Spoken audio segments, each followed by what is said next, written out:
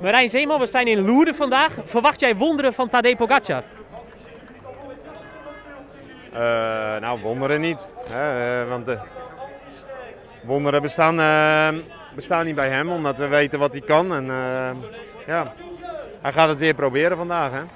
Hebben jullie schietgebedjes nodig vandaag? nee hoor. Nee. Wat is het plan voor vandaag? Is die 2 minuten 18 genoeg voor die tijdrit van zaterdag? Is het dus consolideren? Ja, weet je, uh, ik denk dat dat uh, de grote vraag is voor iedereen.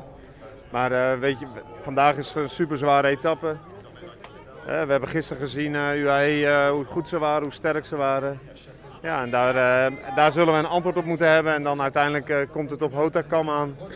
En daar zal gewoon een gevecht zijn tot de streep. En is het consolideren, is het tijd pakken. Ja, dat is, we weten het uh, vanmiddag. Uh, hoe dan ook zijn we vol vertrouwen voor de tijdrit van Jonas. Ik bedoel, dat heeft hij ook uh, bewezen in, in eerdere tijdritten. we, hebben, we hebben goed materiaal, we zijn goed voorbereid. Dus, maar goed, we denken daar nog niet zoveel aan. Het is vandaag misschien wel de zwaarste bergetappe van de Tour. Dus daar zijn we nu mee bezig. Tot slot, hoe is het met de zenuwen? Bij Jonas. Bij jou? Oh ja, ja. Nee, bij mij goed hoor. Ja.